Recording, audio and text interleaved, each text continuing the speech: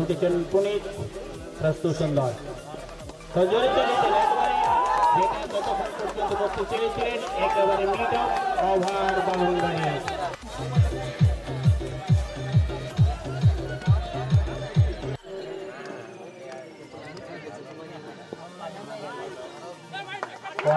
Punit